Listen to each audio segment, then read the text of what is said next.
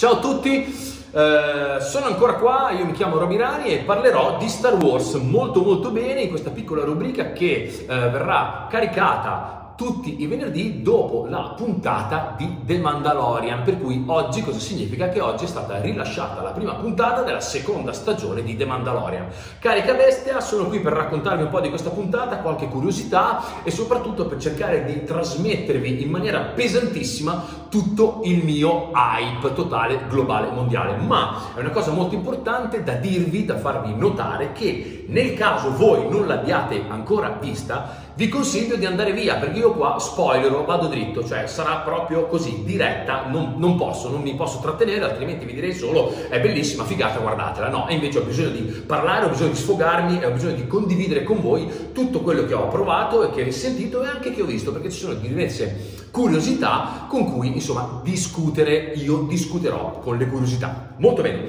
per cui da adesso in poi, spoiler alert, l'avete visto, rimanete, non l'avete visto, recuperatelo dopo che l'avete visto. Oh. Molto bene, perfetto. Prima puntata si chiama Lo sceriffo, ma questa è una conferma dei rumor che, che giravano già da tempo, eh, ogni titolo è mm, preceduto dal capitolo, e non è il capitolo 1, stagione 2, ma continua con la numerazione, per cui siamo al capitolo 9. Molto figo che aiuta a rendere tutta la storia non divisa in due stagioni, ma in un blocco solo, almeno io sono feticista per queste cose, per cui mi piace ancora di più.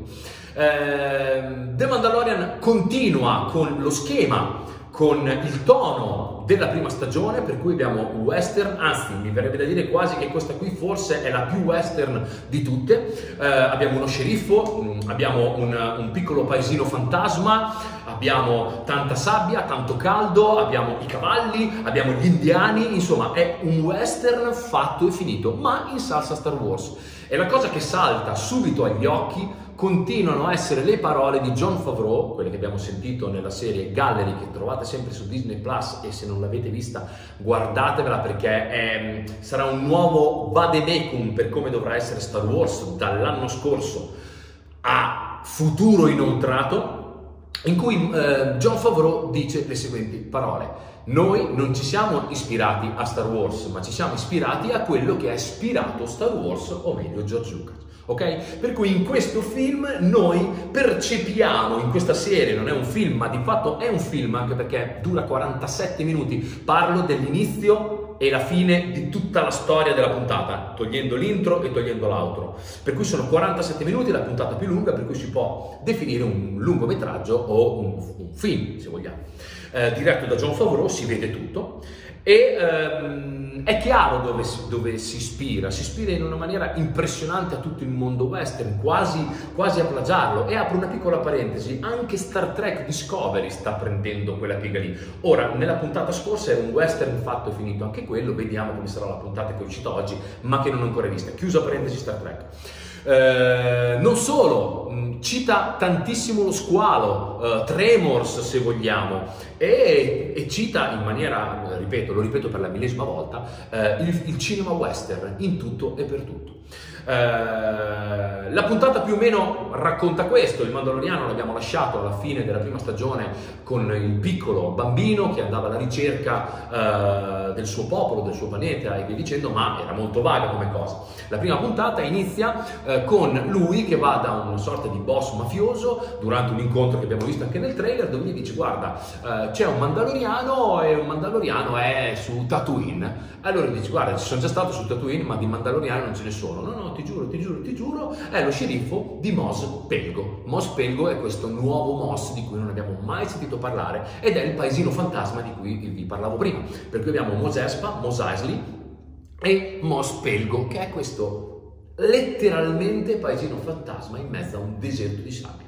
Molto bene, lui si dirige su Tatooine e comincia il western, eh, torna dalla sua amica che è la proprietaria del dock con i tre droidi, ricordate i Stooges che abbiamo già visto anche in episodio 1, eh, e gli mostra la mappa olografica dove gli dice guarda qui c'è Mospelgo. E lui dice ma qui non c'è nulla, è perché probabilmente è stata spazzata via. Questa cosa ricorda tantissimo la ricerca di Camino ehm, con Obi-Wan e Yoda, vi ricordate dove sono tutti i pianeti, dice guarda qui un, dovrebbe esserci un pianeta perché vedo l'attrazione ma in realtà non c'è nulla. Lui dice perché qualcuno l'ha tolta e se qualcuno l'ha tolta evidentemente sono cazzi da cagare. Detta come va detta.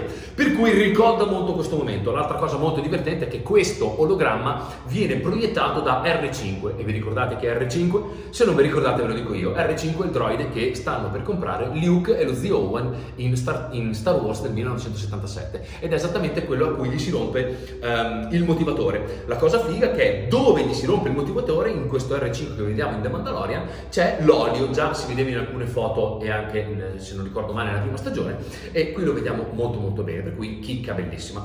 Prende la speeder bike per non farsi vedere con la sua Razor Crest e va appunto eh, verso questo Mospergo. Vediamo subito che lui è in contatto, in stretto contatto con i Tusken, eh, ci, ci, ci, parla, c'è molto rispetto tra le due razze, eh, sa molto sui Tusken, eh, spesso in questa puntata cita la loro storia, dice che cazzo dici, guarda che loro ne sanno un botto di sta roba, sono migliaia di anni loro che vivono e convivono con questa calamità, che questa calamità è meraviglioso, il drago di Krayt. E il drago di Krayt, piccola chicca, sapete qual è? Sapete dov'è? Parliamo del 1977, parliamo del canone attuale, cioè il drago di Krayt che abbiamo sentito e, e e visto nei vari fumetti dell'ex Expanded Universe attuale Legends era molto diverso da quello che vediamo qui, perché lo vediamo e lo vediamo anche molto bene.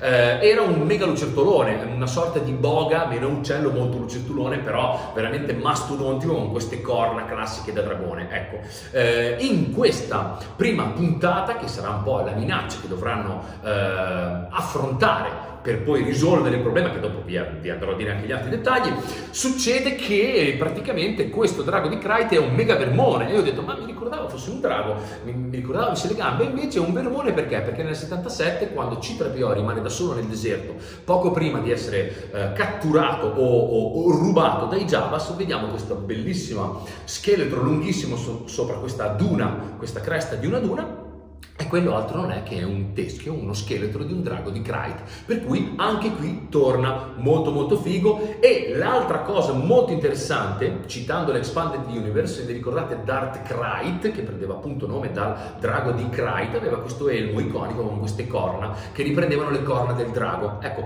queste corna in questo vermone sono state mantenute più o meno a grandi linee, ma sono quelle. Per cui vedete l'amore che c'è dietro. Lì c'è filoni, c'è filoni, c'è filoni. Io mi immagino queste persone che dicono Filoni tu dici e Favreau fa, perché questa è una cosa molto importante. Il fatto che ci sia Favreau dietro questa puntata è fondamentale per partire in tromba, perché è una bomba questo filmino di 47 minuti. Molto bene, uh, Mandaloriano, Din Djarin arriva a questo Mos Pelgo, classica scena, invece che avere il cavallo allo speeder due all'ora, tutti che lo guardano, tutti che si spostano, che si fermano a osservare lo straniero che arriva in città, va al saloon, entra nel saloon e gli dice sto cercando un mandaloriano, eh ma chi è un mandaloriano? È uno fatto come me, è lui, lo sceriffo, si gira e c'è, pa, pa, pa, pa, pa, pam, c'è uno con l'armatura di Boba Fett e lì, bah, prima Gina Pectoris, fermi tutti, L'armatura di Boba Fett bagattata, massacrata dal tempo, dai Javas, da, da, tutto quello che è successo prima. Ma chi la indossa? La indossa Cobb Vant. E qui altra bellissima, enorme citazione che però ho dovuto condividere con gli amici di Empira perché io eh, non l'ho ancora letto, eh, viene presa paro paro da Aftermath. Mi dicono anche che c'è, c'è qualche differenza volendo, ma le abbiamo viste anche nel canone diverse differenze. Ma va bene, soprassediamo perché veramente dopo tutta questa roba chi se ne frega. Per cui c'è Cobb Vant che altro non è che lo sceriffo di questa Mos Pelgo, ok?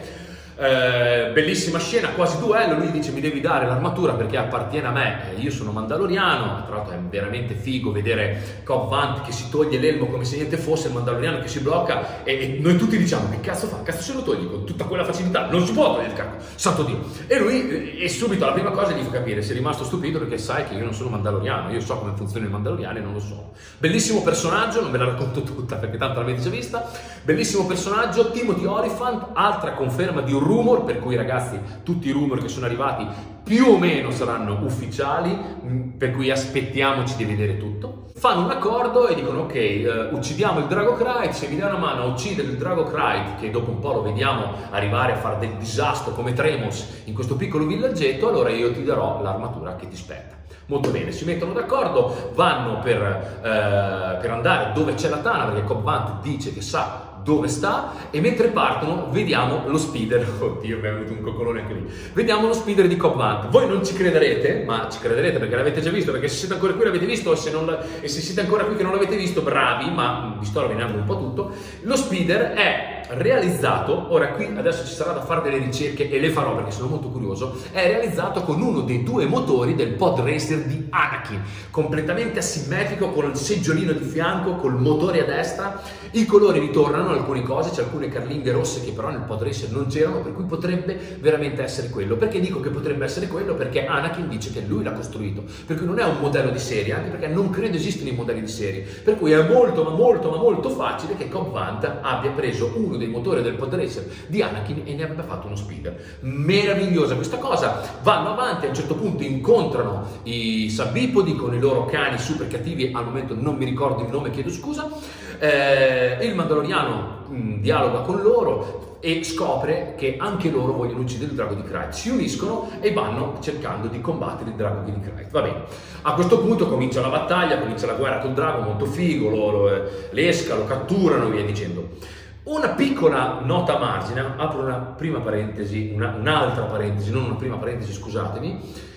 In tutto questo non vi ho nominato Baby Yoda, The Child. The Child in questa puntata c'è, ma è in secondo, terzo quarto piano. Appare per far sorridere, appare per ricordarci quanto è pupino questo cosino qui, ma in realtà non serve. In realtà serve, perché lui è lì per cercare un mandaloriano per riportarlo a casa ma in realtà non ne abusano. Questo è stato per me un grande regalo.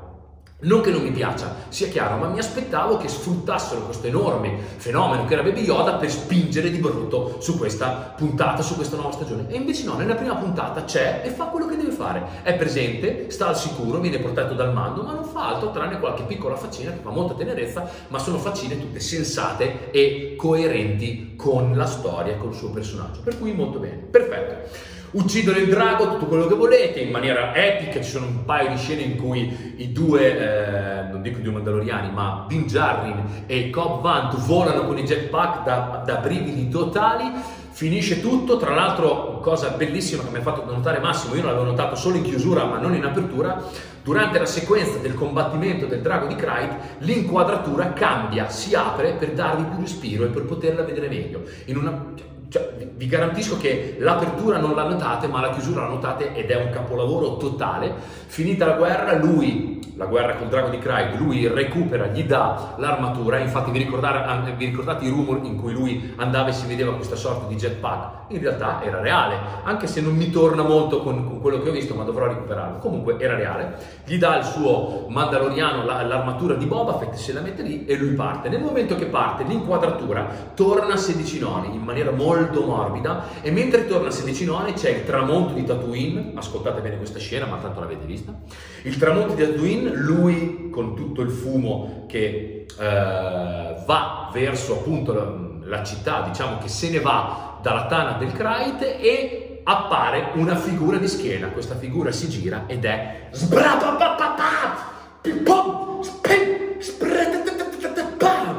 Boba Fett, a.k.a. Tamuera Morrison, tutto butterato, rovinato dall'acido del Sarlacc. Ah! Vabbè, ok, eh, capite che io sono completamente in fotta, abbia, abbiate pazienza. In tutto questo provo a uscire un attimo dal mio ape, dalla mia fotta e cercare di essere un minimo più eh, serio ed obiettivo, ragionando la puntata non per noi, non per me, ma per il pubblico che si avvicina a questa serie o al pubblico che si avvicina a Star Wars perché ha sentito parlare di sto Baby Yoda e sto Mandaloriano. Questa puntata è fruibile per chiunque, per i bambini, per gli adulti, per le donne, per i fan, per i non fan, perché è una puntata diretta in maniera impeccabile. È, si prende il suo tempo perché è un western, per cui deve omaggiare anche quel tono, quel ritmo. Si prende tutto quello che vuole e ve lo ridà, ve lo ridà con gli interessi. E perché vi garantisco che la puntata è finita con, con una mia grandissima soddisfazione. Ma non parlo del fatto che in finale veniamo Boba Fett, ma la mia soddisfazione è dovuta che ho finito questo pranzo e mi sentivo realizzato. Vi dirò che non ho neanche tutto questo hype mostruoso per la settimana prossima, perché questa puntata è un regalo che inizia e che finisce. Il top. Meglio di così non poteva andare e credo che possa piacere a chiunque perché è molto semplice, è fruibile e soprattutto ha una storia basilare come del resto è The Mandalorian, basilare dove non vai a colpire con i salti mortali della storia sul tradimento di Pinco, di Pallino, della morte, di qua e di là, ma vai a raccontare una storia che possa piacere a chiunque, che possa fruibile per chiunque, ma finalmente lo si, come, lo si confeziona con tutto quello che è realmente quello che doveva essere dal 2015 il brand di Star Wars. Con oggi abbiamo chiuso, eh, spero di aver detto tutto, ma con live probabilmente me lo sarò dimenticato, vi chiedo ancora scusa per il rimbombo, abbiate pazienza, settimana prossima o cambio location o vedo di sistemarla assolutamente. Ciao a tutti, qui da Lega Nerd è tutto, alla settimana prossima per il capitolo 10. Questa è la via.